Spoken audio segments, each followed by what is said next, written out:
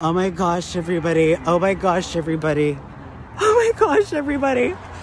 Oh my gosh, everybody. We are on the verge of pushing the Bidens out of office. I have never seen such stupidity in my life, my friends. And I just want to say, I feel the love from everybody in my life. Today's Arthur's birthday. And when you're twin flames, like we are, you know, we're like a diphthong. Does anybody out there know what a diphthong is? A diphthong, it's two letters, two vowel sounds together like an OA in boat. That's a diphthong. yeah, that's a diphthong, right?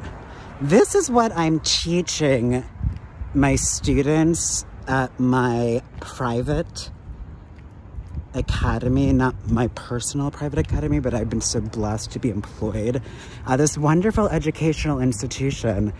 And let me tell you about cognitive dissonance, my friends. Right? The term cognitive dissonance has been in the news a lot lately. Let me tell you about cognitive dissonance, my friends. To keep my voice down because my dear housemate, Emmy, is a bit under the weather. Everybody in my life is very private right? I'm the public person, right? But my network is huge, people, and I'm shown that time and time again. And talking about cognitive dissonance, I'm just developing my material a little bit more for the improv. Oops. I wanted to get rid of my. I just had a major cry outside. It was such a cathartic release, but um, I actually then cried all over my joint. And it's okay because I just got like something like 28 joints. I just got a shit ton of weed. I'm able to stand here for a second. I just got a shit ton of weed for so cheap and exactly my style. And I was like, yo, people, this is what I'm talking about, you know? It's like, Come on, people. And today's Arthur's birthday. When you're twin flames like we are, it feels like it's your own birthday. I felt the love today so much. And I was talking about my love for Arthur today. I was talking about it to one of my students, and I completely forgot that everybody could hear everything where I am. There's an open plan space. And here I am telling my story about why I'm living separately from Arthur. And I was like, sometimes in life, you just have to do your thing and you need to put all your attention to it. And I was like, you know, I mean, and my student who's profoundly deaf is talking to me like a champion, right? I'm seeing the power of intensive reading and practice and, you know, positive reinforcement. And yet, when I read the news, what is it that I'm reading? Right? I'm reading, oh, every day now, right? More and more shit comes out about how the Bidens have been lying to us. Why is this KJP person still in office? I'm so sick. Nobody's held accountable anymore, right? Yes, I'm being roasting. Excuse me, as my students say, I'm being roasty. No, I'm roasting, my friends. I'm roasting this fucking country. Who the fuck are these people, people? Right? Jill, they didn't even have a fucking plan B, yo. I was like, you know, I don't pay attention to this bullshit. I mean, they rigged the election the last time, and the New York Times is slow to get to it, but I'm catching up on the news right now because my own narrative is finally together. They did try to fucking sack me at Gettysburg. I said, thank you. Right? I mean, what are you gonna do, motherfuckers? You're gonna say that I'm a crazy person? I had just gotten my PhD. It's Arthur's birthday. He's 41. And it's the third day of the three day. Let me keep it moving because this dog is fucking freaking me out. Thank you, David Abram. That's an inside joke. You know, we are too smart for this crapola. Why is it only up to Biden? Since when is the fate of the United States of America up to the decision of one person? In what planet, right? I was so glad, you know, I've been such a critic of the New York Times and it's so, like everything else, it's a shell of what it used to be. Thank you, Arthur, for that language. It's a shell of what it used to be. And yet, you know, it's still the most comprehensive news out there, along with the Washington Post, right? I was a journalist, people. you know, it's so outrageous right? And it's as soon as the New York Times said, right, he should step aside, and they said no. What, excuse me, what Democratic, they're all talking about, oh, um, no, this is, this is, this is what passes for idiocy in the Democratic Party. Right? They're all talking about, oh, this is the best president on the economy since LBJ? Since, no, excuse me, since FDR. I'm sorry, but food prices are so expensive. I don't even go out to eat. It's so expensive, so much more expensive than four years ago. so, what is this record, Barbara Boxer? Right, Nancy Pelosi, all you fucking motherfuckers, get the fuck out of here. Right, we're cleaning up people. Right, you think I would endorse any of this to my students? No, I'd say you can. Unfortunately, our president is lying to us right? And his stupid ass wife, first of all, she has no fashion sense. What the fuck was that butterfly bullshit she was wearing the other day? Pfft, seriously, people. Right? My students, my six year old students are smarter than these idiots. Right? It's like talk to me like I'm in kindergarten, right? You actually have to talk to Biden like he's in kindergarten, right? They're all talking about, let me just wrap up here because I want to chill, right? They're all talking about all these Democrats, oh, that no incumbent Democratic president has lost the election in however many years, blah, blah, blah, blah. Let's flip that around. Let's turn that around. What we could we do? Excuse me, let me not get tongue tied. Let's flip that around, turn it around like we do in Hollywood in comedy and stand up, right? Seriously, people. I mean, at the improv, we think this is a joke. I'm not speaking for the improv, I'm speaking for me, my understanding of the improv, my beloved community. Right? What Dr. King think about this bullshit, right? Let Malcolm X. Be like, hang them all. I'd be like, exactly. Hang them up like fucking, you know, paper mache dolls and set them aflame, you know? Let's turn it around. What Democratic president has ever won the presidency without the backing of the New York Times?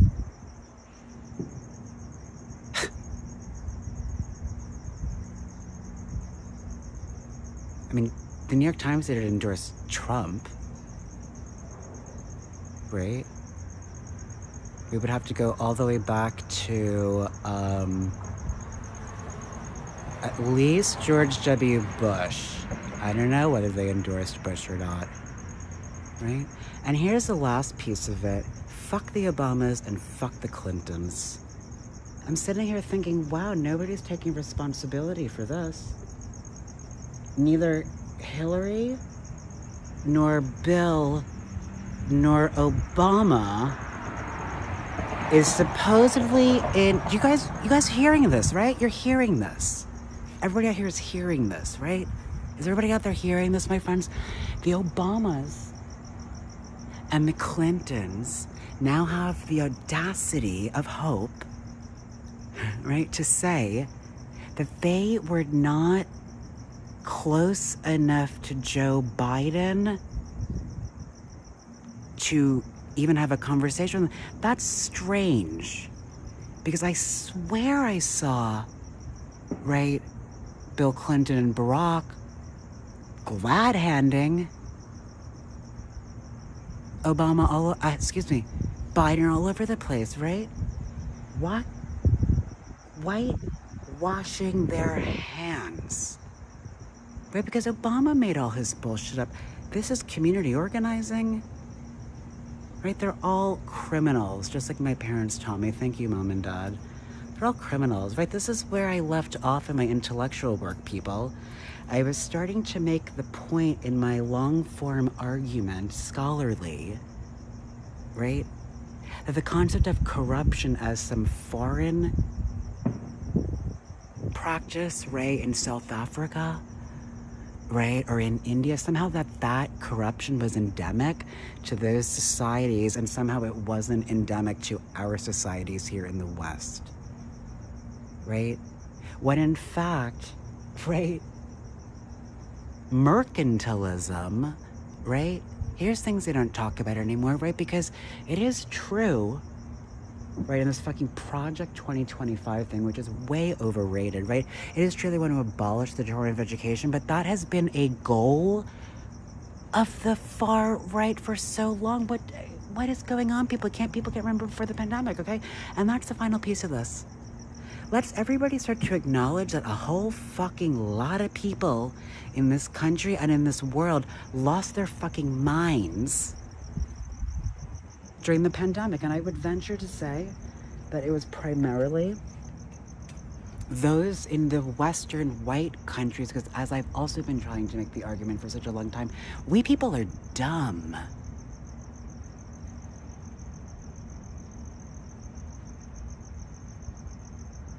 Right? White people are dumb. Right?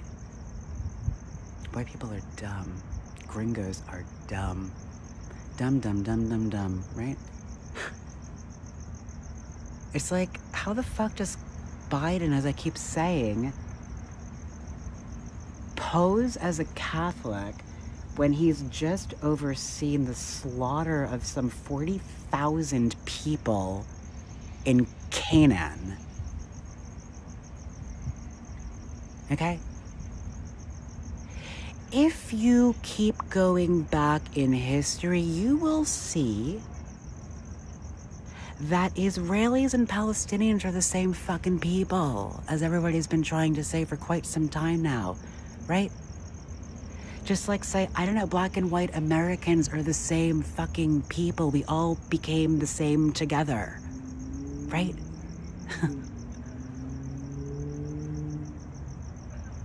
I mean, it doesn't take in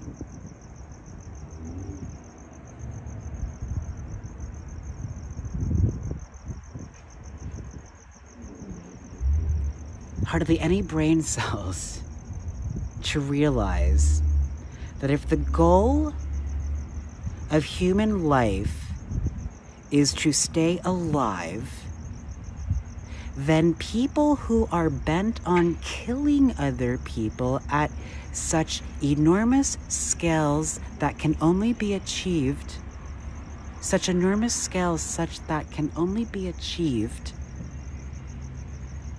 by hugely powerful states with hugely precise weapons, with hugely large sums of money behind them. that that goes against the very concept of life, right? I mean, I'm in Glendale. If suddenly a gang of people went around killing indiscriminately the people in Armenian majority Glendale, people would now say, based on what I can see in X, group chat for Earth, talk about consciousness and not embodiment. And people done have lost their minds, like I've been saying for four years now. And this is a leap year, people. So time is out of joint. Thank you, Shakespeare. Thank you, Hamlet.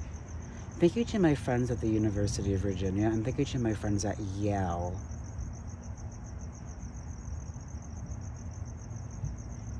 I boast, but I will most definitely be collecting my fellowship at Yale this year.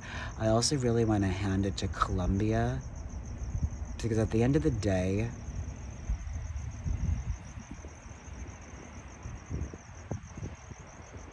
we got to see exactly the tactics of the far right Zionist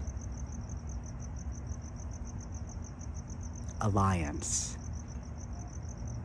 right? Allied Universal people. Follow the money. Act up. Act out.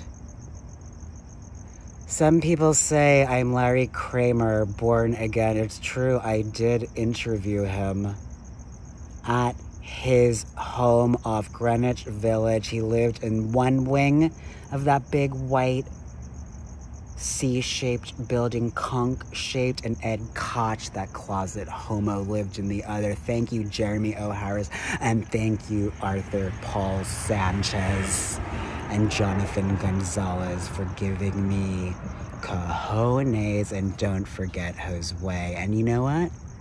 I'm gonna fucking talk about yeah, okay, fine. I'm also gonna count in Joshua Michael Cruz because I was really fucking irritated by that. I was like, excuse me, you could have liked my comment, dude. It's like I fucking had the nerve to text my fucking ex-partner Scott today. And he says to me, who's this? I was like, what do you mean, who's this? How many people do you know who text you love Sean? S-E-A-N. It's like, meanwhile, right, there's a Mr. Robot walking around my learning center that I'm working at this summer as a clinician slash instructor. I'm learning so much about the reading process and how best fertile young minds grow. And it turns out that those minds should not be watching the news they most certainly should not be watching any television shows. Madonna is right. I haven't watched any television in four years and I've never felt better. And they should be doing the classical arts, right? That is to say, the fine arts. They should be learning an aesthetic education. Thank you, Gayatri, and thank you, Saidiya. And thank you, Sadia, and thank you, Christina Sharpe. Thank you, Simone Leigh. Thank y'all thank you, thank you, thank you, thank y'all for seeing me, right? It's like I'm practicing my lines. I'm like, I can't wait to see Caroline next week. And when she's be like, what up? And I'm going to be like, yo, you know what? Ever since I saw my Cairo in Hollywood last week, I've never been better. And I felt like that was the best. I really got to go up to Kindla. What? Kindra Woo. That was dope as fuck today. And I have to say, I have a little bit of a pain in my tummy here. But I know it's just my aches and pains. Thank you for seeing me as Woody Allen, but also thank you for seeing me as Vanessa Redgrave. Fuck yeah. Right? This fucking Dr. David, Dr. Eli David? People done have lost their minds, people roasting a play. Thank you, Cate Blanchett. I was like, how on earth is this child? I was like, there is no way this cutie patootie Asian young person who's now getting her hair done while I'm watching her. And she does use she, her pronouns, people. The kids know. We follow the children. That's what Whitney Houston taught me. So I keep saying to my parents, I'm like, oh my gosh. And I said to my friends the other day, my colleagues, all the youngsters, I was like, hey, Laura Lee, what's up, my friends? You know, I it's just about positive reinforcement. The point of life. Thank you, Viola Davis. Thank you, Denzel. Thank you, Ethan. Oh my gosh, I just I love my life again, people. Thank you. It took it took well, it took 4 years to get here. I'm going to wrap this up, but I'm over the moon. I just I just had an enormous cry outside. I just read all this bullshit up on the thing, but I mean it. Like I there is no there is no reason whatsoever that Kamala Harris should not take over. Why can't she just invoke somebody? This is where this is going, by the way. This is where this is going, by the way. Right? I can't wait. This is going straight up. Thank you, VV. This is where this is going, by the way. This is where this is going, by the way. Right? I mean, they're going to invoke. This is go. Everybody knows this is going to the Supreme Court, right? And they're going to side against Biden, right? And also, people are fully misunderstanding John Roberts as Do you hear the cracking people? People are fully misunderstanding John Roberts' reasoning. This is to protect all presidents going forward. This was a good decision because they're reading the tea leaves. And unfortunately, we see what happens with identity politics hires, right? Ketanji Brown, fuck. And fucking Sonia Sotomayor? Since when do Supreme Court, again, thank you, Elon Musk, since when do Supreme Court justices opine on uh, the moral issues of the time? Their job is to read the law. Thank you, John Roberts. Fuck Gorsuch. Fuck Clarence Thomas. Remember, it's Joe Biden who gave us Clarence Thomas, right, by refusing, refusing to investigate fully Anita Hill's experiences, which were validated. Thank you, Kerry Washington. What is going on here, people, right?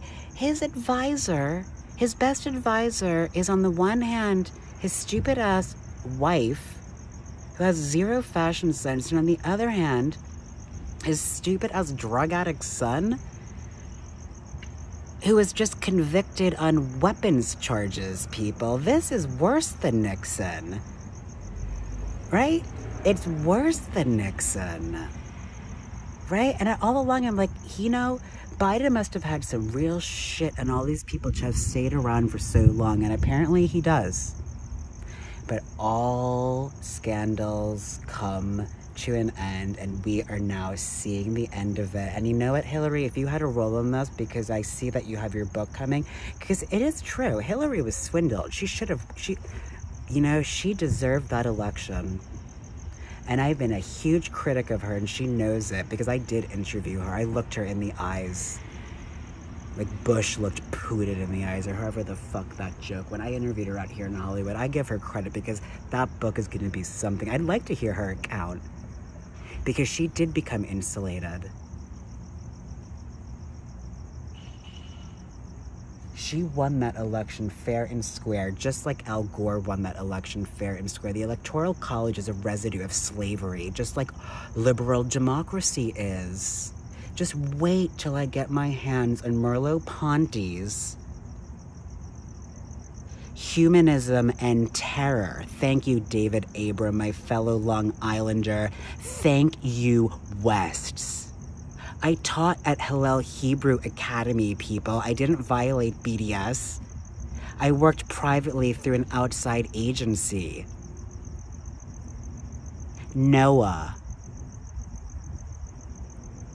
I worked with more than one Jewish Noah.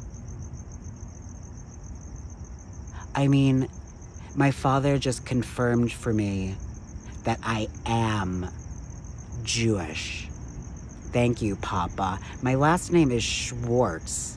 Because I already have a notion that people are going to say, oh, don't go by Sean MP professionally, right? That's your artist's name. Fine. Well, you know, I'm going to go for professionally then Sean Schwartz. Right? Fuck you, Netanyahu. Jesus fucking Christ. Right? It's the Christians and the Jewish people, the extremists in both large tent parties who are collaborating to drive the Palestinians out and complete some sick, fucked up fantasy about suicide. It's a fucking suicide pact, people. Seriously. Because you know what? For as inspiring a set of narratives as scripture is, it has no basis in history at all. Israel belongs to all of us. And any theologian in the Abrahamic tradition, or at least the Judeo Christian tradition, would certainly agree with me. And definitely the Yale Sacred Music Institute agrees with me. Now I must go inside to work on my fellowship application. Of course, Robert will attest for me, and so will Christina.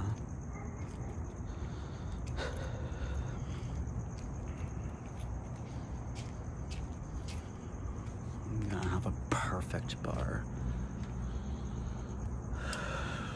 I did four days or five days without 420.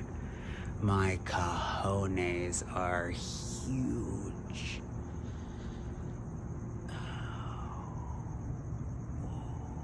And I'm getting. Oh, I'm not supposed to bend like that anymore. Thank you. Kendra Wu, if that's your name. I don't know. It was Heroes and Villains Day at school today. My friends, one of my students wore a big, sexy stash and a cape. One of my adult students, I do have one. They're on the spectrum, but I find them to be so sweet and creative, the ones on the spectrum. Okay, ciao for now. Bye bye. It was such a pleasure to treat. I don't know why Jenny McCarthy and Jim McCary hated Evan so much. Do they still talk to that kid, or did they lock him up like the Kennedys locked Rosemary up? Oof. Fake news about vaccines causing autism people, and you know, Oprah was in the business of transparency first and foremost her own. That's why she has integrity. Thank you, Mensch. Thank you, Gayle King. I was like, okay, Gayle called it. One. And that means Gail 2 must have called it too. I was like, excuse me. What would Alice Waters think?